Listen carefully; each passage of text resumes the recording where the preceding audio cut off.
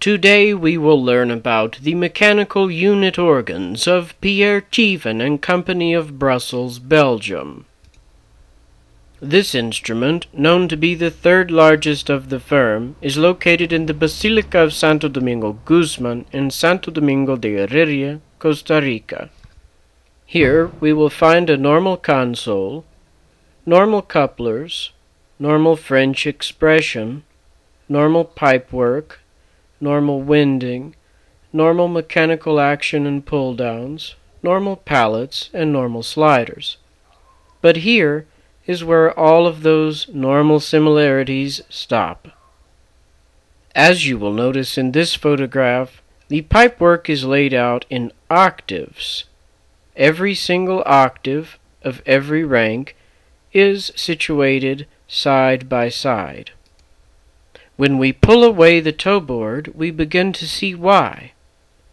This mechanical action instrument is actually, for some stops, a unit organ.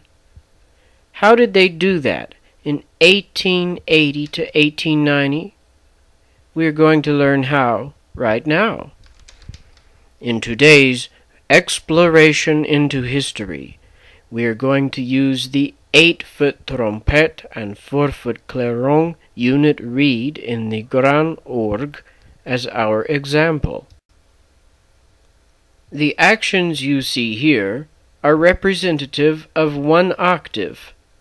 This octave layout looks exactly the same for each of the 12 notes.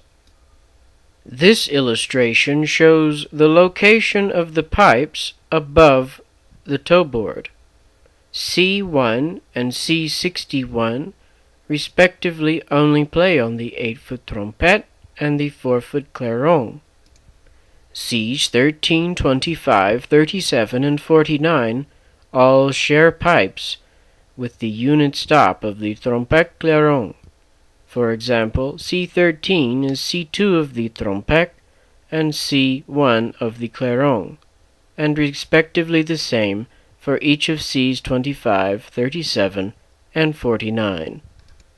The very simple leather valves keep wind from entering the wrong channel underneath.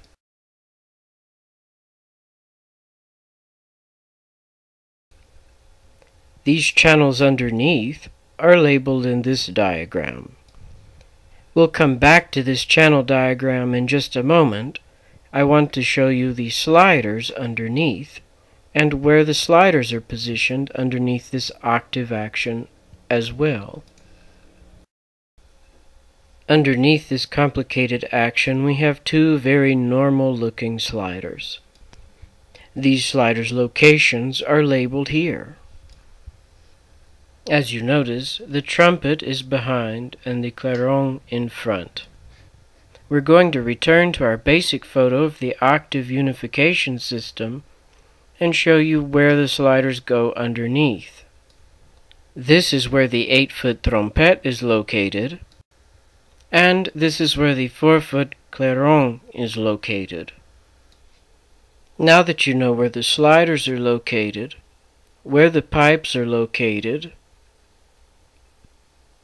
and where the channels are located, we're going to switch to a live video of this action at work.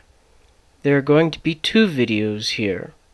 The first is of the 8-foot trumpet alone, and the second is of the trumpet and the 4-foot clairon together. Okay, play C2, C3, C4, and C5. That is the 8-foot trumpet by itself. This is the 4-foot clarion with the 8-foot trumpet. C1